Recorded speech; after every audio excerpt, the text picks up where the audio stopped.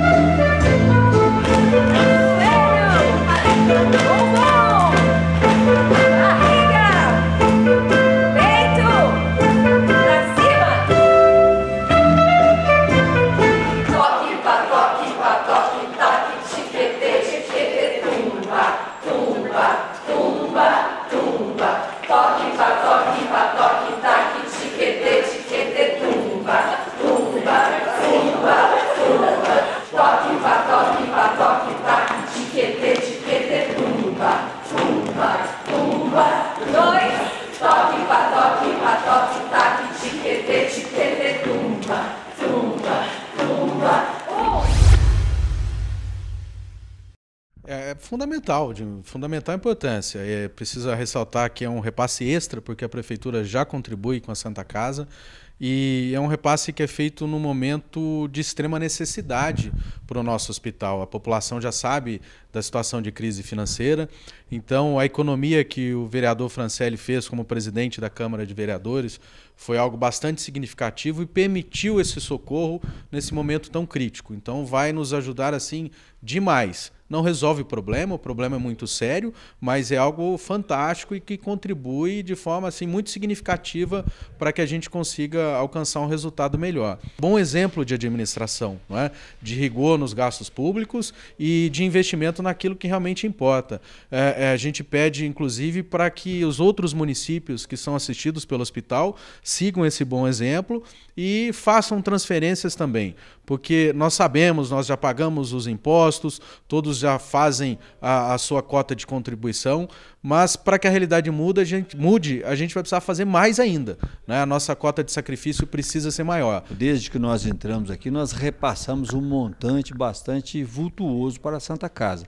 Nós pagamos os plantões médicos, pagamos todos os transportes da Santa Casa, pagamos a, a, dívida que a Santa Casa tinha com a CEMI, que era de mais de um milhão, um milhão cento e dois mil reais, pagamos integralmente e estamos pagando a conta de luz mensal que gira em torno de 18 mil reais. Isso nós pagamos voluntariamente.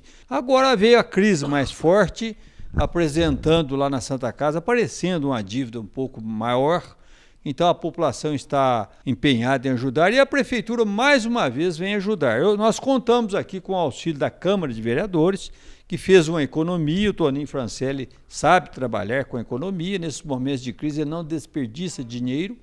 Então, economizou um montante, está repassando para a prefeitura, como é de praxe. E eu, eu como prefeito, repassei integralmente esse valor, que é de 380 mil reais, para a Santa Casa. Isso vai saldar pelo menos duas folhas de pagamentos dos funcionários. São funcionários que são meus colegas de trabalho, trabalho com eles há mais de 30 anos e eles merecem receber em dia. Fazer o agradecimento a todos os vereadores, na pessoa do TEA que está aqui, nosso vereador, e na pessoa do presidente da Câmara, que é o Toninho Francelli. Nós economizamos na Câmara de Vereadores, né, um valor até razoável de 380 mil, e esse valor seria repassado no final do ano. Mas o, a gente conversando com o nosso prefeito, doutor Maurício, com o Toninho Miguel, eu acho que chegamos à conclusão que ao invés de passar no final do ano, seria o momento de socorrer a Santa Casa para pagar os funcionários que estão sem receber.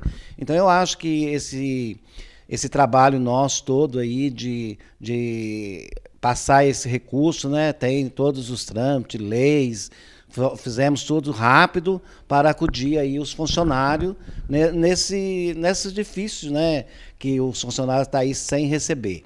E aí o mais interessante também é o reconhecimento também de todos os vereadores, porque a gente cortou o gasto na Câmara Municipal desde que nós entramos, estão é, economizando, e a economia veio numa hora boa que socorreu a, o nosso hospital e também eu acho aí a gente também deve agradecer o prefeito pelo, esse acolhimento desse recurso e a destinação para a Santa Casa. Abracei a causa com muita alegria e a gente sempre querendo o melhor para a nossa cidade e para a nossa Santa Casa, que tanto está de portas abertas para atender a população de Ouro Fino e todas as vezes que a gente procura é, é muito bem tratado lá. Fiquei muito feliz com isso.